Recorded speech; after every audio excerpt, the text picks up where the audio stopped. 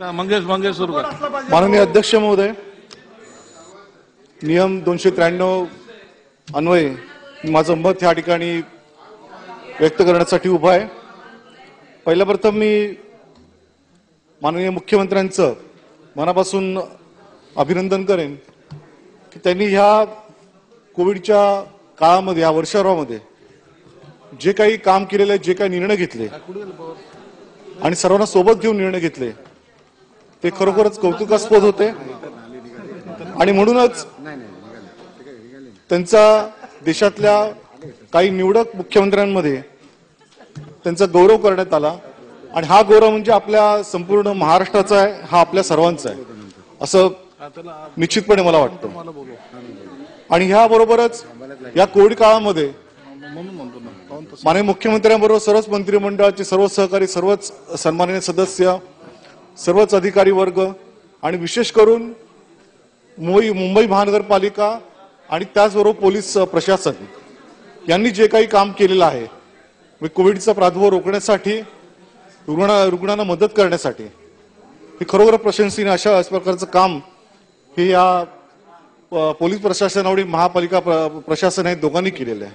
तर सर्व कर्मचारी अधिकाऱ्यांचं मनापासून मी कौतुक करतो त्यांचं अभिनंदन करतो.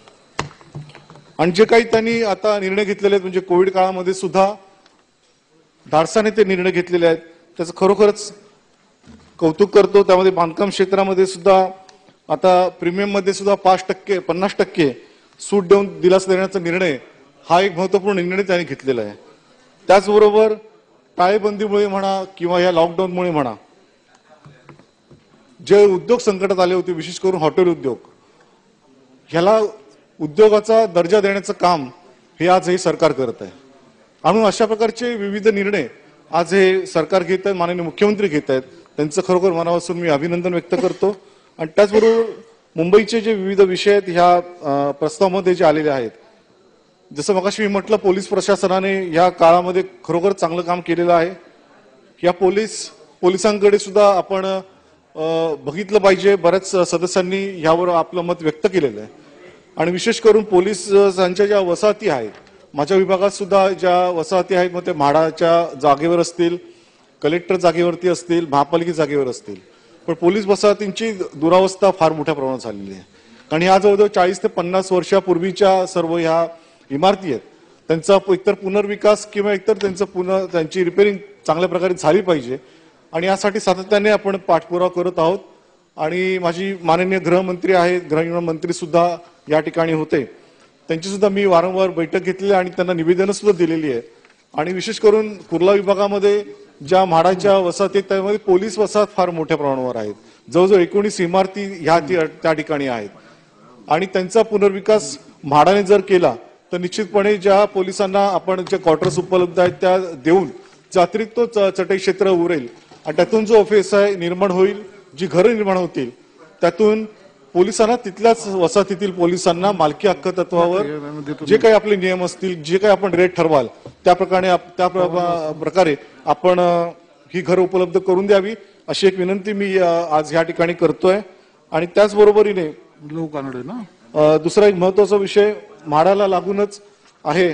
आणि तो म्हणजे छप्पन्न म्हाडा वसती मुंबईतील मागे दोन हजार सोळा मध्ये याचं प्रीमियम आलं आणि पुन्हा एकदा म्हाडाच्या पुनर्विकासाचा मार्ग मोकळा झाला. पण असे बरेचसे प- प्रश्न अजून अनुत्तरित राहिलेले आहेत आणि त्याचा निर्णय तातडीने घेणं गरजेचं आहे. मागच्या कार्यकाळामध्ये सुद्धा तत्कालीन मुख्यमंत्र्यांना मी सातत्याने निवेदनं दिली होती. आणि एकोणीशे अठ्ठ्याण्णव पासूनचं जे सेवा शुल्क हे त्या ठिकाणी थकीत होतं त्याच्यावरती अठरा टक्के व्याज आणि दंड अशा प्रकारची कारवाई ही प्रत्येक भाडेकरूंना नोटिसा पाठवून करण्यात आली. आणि आज भरमसाठ असं ही भाडेवाढ आणि त- बिलं ही नोटिसा दिल्यामुळे आज खरोखर रहिवाशी हवालदिल झालेले आहेत. आणि सातत्याने हा विषय मी घेतल्यानंतर आज त्या ठिकाणी समिती निर्माण करण्यात आली. समितीतून दोनदा बैठका झाल्या आणि त्यांची शिफारस तत्कालीन मुख्यमंत्र्यांना करण्यात आली. पण त्यांनी निर्णय काही घेतला नाही. पण मी खरोखरच माननीय मुख्यमंत्र्यांचं आणि माननीय गृहनिर्माण मंत्री यांचं कौतुक करेन की त्यांनी सोळा डिसेंबरला बैठक घेतली त्यांच्या दालनामध्ये. आणि त्यांनी आदेश दिलेला आहे की ह्या अंतर्गामध्ये आपल्या रहिवाशांना म्हाडाच्या रहिवाशांना दिलासा देण्यासाठी एक अभय योजना तयार करा. आणि या अभय योजनेच्या माध्यमातून निश्चितपणे जो या सेवा शुल्कावरील अठरा टक्के जो व्याज आहे दंड आहे तो माफ करण्यात यावा किंवा कशा पद्धतीने करण्यात यावा यासाठी ही अभय योजना तयार करावी. आणि त्या प्रकारे म्हाडाने सुद्धा हा प्रस्ताव दाखल केलेला आहे. मी ग्रामीण मंत्र्यांना विनंती करतो की आपण तातडीने या संदर्भात निर्णय जारी करून या म्हाडा रहिवाशांनी आमच्या न्याय द्यावा. त्याच पद्धतीने मुंबईमध्ये विविध जमिनी आहेत. पुनर्विकासासाठी किंवा या मोडकळीस आलेल्या चाळी आहेत. पुनर्विकासासाठी सज्ज आहेत. पण काही धोरण निश्चित नसल्यामुळे आज पुनर्विकासासाठी बऱ्याचशा वसाहती चाळी म्हणा थांबलेल्या आहेत. त्यातलं मुख्य म्हणजे वाडिया ट्रस्ट म्हणा किंवा खोताच्या जमिनी म्हणा या प्रामुख्याने आपल्या संपूर्ण मुंबईमध्ये आहेत. आणि त्याच्यामुळे त्यांचं त्यांच्या बाबतीत धोरण नसल्यामुळे कारण वाडियाकडे जर एनओसी मागायला गेलो आपण तर निश्चितपणे ते पर स्क्वेअर फीट मागे पैसे मागतात आणि त्याचा अबाचे सहावा रेट होऊन ती चाळ म्हणा किंवा ती इमारत दुरुस्त होऊ शकत नाही.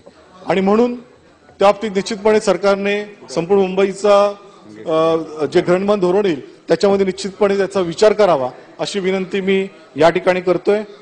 त्याच पद्धतीने कलेक्टर लँड म्हणजे महाराष्ट्र शासनाने प्रदान केलेल्या ज्या जमिनी आहेत गृहनिर्माण संस्थांना त्यांच्या बाबतीत सुद्धा एक विषय मी या ठिकाणी मांडणार आहे. मागे दोन हजार अठरामध्ये फ्री होल्डची स्कीम ह्या ठिकाणी आली होती. पण त्यावेळी सुद्धा मी तत्कालीन मुख्यमंत्र्यांना विनंती केली होती की आपण कुठल्याही परिस्थितीमध्ये ह्या ज्या जमिनी आहेत त्या जमिनी या चाळीस वर्षापूर्वी दिलेल्या आहेत. त्या संस्थेने त्या ठिकाणी स्वतः पुढाकार घेऊन स्वतः पैसे भरून आणि स्वतः विकसित त्या ठिकाणी इमारती त्यांनी केलेल्या आहेत. आणि आज त्यांची पुनर्विकासाची जी मागणी आहे ती बघता आज कलेक्टर लँडवरील जे धोरण आपण फिरोळचं आणलेलं आहे त्या बाबतीमध्ये सुद्धा सरकारने सकारात्मक दाखवून जे रेडी रेकनरच्या दरामध्ये जी काही त्यांनी जे प्लॉटच्या ज- जमिनीमध्ये जे काही रेट लावलेले आहेत त्यामध्ये अधिकाधिक कन्सेशन देऊन.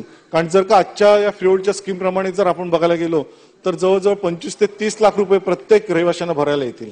पण तसं न करता जर आपण एक दोन तीन लाख म्हणजे टू पॉईंट फाय पर्सेंट जरी आपण स्वीकारले तरी मला वाटतं हा फ्रीओडचा विषय तात्काळ निकाली लागू शकतो. आणि त्यामुळे मुंबईतील जवळ तीन हजार घरनिर्माण संस्था आणि महाराष्ट्रातील जवळजवळ चाळीस हजार घरनिर्माण संस्थांचा याचा लाभ मिळू शकतो.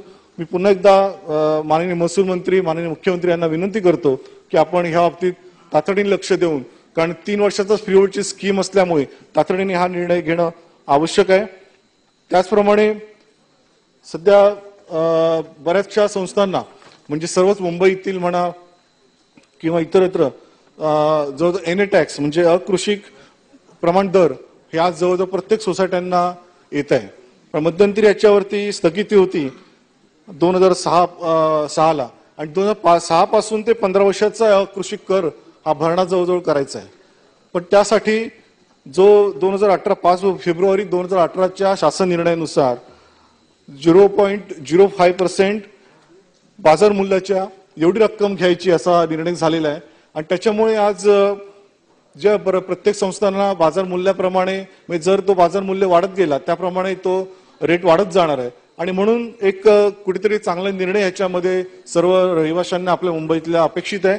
आणि ह्या अकृषिक कराच्या बाबतीमध्ये शासनाने चांगला एक निर्णय घेऊन या सर्व मुंबईकरांना एक दिलासा चांगल्या प्रकारे द्यावा अशी एक मी विनंती करतो. आणि त्याचवेळी माझ्या विभागामध्ये एक मेट्रो टू बी चा प्रकल्प आहे. गेल्या दोन वर्षापासून तो बंद पडलेला आहे. आणि त्याच्यामध्ये जे पहिले कॉन्ट्रॅक्टर होते त्यांना आता बा- बाद करून नवीन कॉन्ट्रॅक्टर उभारण्याची संपूर्ण त्यांची निविदा काढण्याची प्रक्रिया सुरू आहे. पण अद्यापही हा प्रकल्प सुरू झालेला नाहीये. तरी माझी माननीय नगरविकास मंत्र्यांना आणि माननीय मुख्यमंत्र्यांना विनंती आहे की या बाबतीमध्ये तातडीने निर्णय घेऊन मेट्रो टू बीचा हा प्रकल्प मार्गी लावावा. आणि त्याचप्रमाणे ह्या मेट्रो टू बीच्या प्रकरण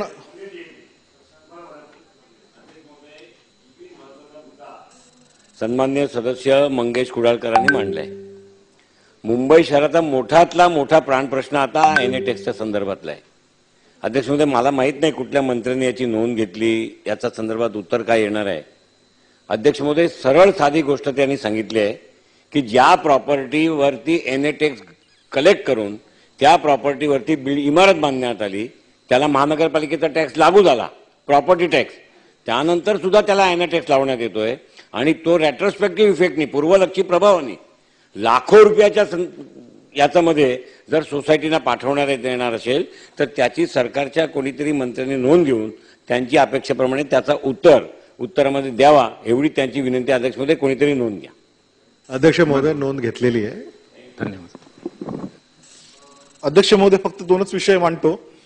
मेट्रो टू बीचा विषय मी हा मांडलेला आहे. त्याच्या पद्धतीनेच मेट्रो टू बीच्या प्रकल्पामध्ये येणाऱ्या ज्या इमारती आहेत त्या इमारतींना सुद्धा तातडीने त्यांचं स्थलांतर म्हणा किंवा त्यांचा पुनर्विकास करणं गरजेचं आहे. आणि म्हणून माझ्या विभागामधील ज्या इमारती ह्या प- प्रकल्पामध्ये बाधित होत आहेत त्याचा विकास जर एम एम भाडे करणार असेल तर नाहीतर म्हाडाची जमीन आहे तर मी गृहमंत्र्यांना विनंती करतो की या बाबतीमध्ये आपणही लक्ष घालून या आपल्या म्हाडाच्या रहिवाशांना कशा प्रकारे न्याय देता येईल हे आपण बघावं. मगाशी आपण एक नव्हता त्यावेळेला मी मुद्दा उपस्थित केला होता सेवा शुल्काचा. आणि त्या बाबतीमध्ये हा विषय आपल्याकडे आहे. तर आपणही या बाबतीत लवकरात लवकर किंवा आजच जर सांगितलं तर खरोखरच आमच्या स- संपूर्ण छप्पन्न म्हाडा वसाहतींना निश्चितपणे चांगला आम्हाला निर्णय अपेक्षित आहे. दुसरा विषय या ठिकाणी घेण्यासारखे बरेच आहेत पण बऱ्याच सदस्यांना या ठिकाणी बोलायचं आहे. फक्त मी एकच माझ्याकडे चुनाभट्टी विभाग आहे चुनाभट्टीमध्ये आपण बघितलं असेल शंभर वर्षापूर्वीची स्वदेशी मिल गिरणी आहे. आज त्या ठिकाणी सुद्धा जो पुनर्विकास रखडलेला आहे चाळी ज्या रखडलेल्या आहेत या स्वदेशी मिल कामगार त्या ठिकाणी जवळजवळ तीन एक हजार कामगार त्या ठिकाणी राहत आहेत. जवळजवळ वीस वर्षापूर्वी ही मिल बंद पडली. त्यानंतर ही कामगारांचं देणं हे अजूनपर्यंत तिथे दिलं गेलं नाही तिथे लिक्विडेटर बसला. पण कोणीच अद्यापर्यंत त्याच्यामध्ये मध्यस्थ केली नव्हती. पण मी माननीय मुख्यमंत्र्यांचं खरोखर मनापासून अभिनंदन करेन की त्यांनी ह्याच्यामध्ये मध्यस्थ केली. आणि ज्या वेगळ्या युनियन होत्या मग ते श्रमिक संघटना असेल राष्ट्रीय मिल मजदूर असेल गिरणी कामगार असेल गिरणी कामगार सेना असेल या सर्वांना एकत्र आणून त्यांनी एक निर्णय घेतला आणि सर्व कामगारांची एकत्रितरित्या करून व्यवस्थापनाशी बोलून तातडीने त्यांनी व्यवस्था सर्व कामगारांना एकत्र आणून एक निर्णय घेऊन कामगारांना किती देणी द्यायची हा निर्णय झाल्यानंतर आता मला वाटतं सर्वोच्च न्यायालयामध्ये हा विषय प्रलंबित आहे आणि लिक्विडेटरकडनं मालकाकडेच जेव्हा हा विषय वर्ग होईल तेव्हा निश्चितपणे सर्व कामगारांना त्यांची देणी मिळतील. आणि त्याचबरोबर आपल्या चुनावटीतील ज्या जुन्या चाळी आहेत जवळ शंभर वर्षापूर्वीच्या त्यासुद्धा त्यांचा पुनर्विकास चांगल्या प्रकारे त्या ठिकाणी होईल अशी अपेक्षा आम्ही व्यक्त करतो. त्या ठिकाणी टाटानगर एक वसाहत आहे. त्या ठिकाणी सुद्धा त्यांची म्हणजे कधीही पडेल या पावसाळ्यात कदाचित ती राहील की नाही अशी अवस्था त्या ठिकाणी आहे. पण लिक्विडिटीकडे जागा असल्यामुळे खरोखरच कुचंबना सरकारचीही आहे. पण तरीही एक माणुसकीची भूमिका ठेवून सरकारने या बाबतीत एक सकारात्मक दृष्टिकोन ठेवून माननीय मंत्री महोदयांनी निर्णय द्यावे अशी विनंती करतो. आणि पुन्हा एकदा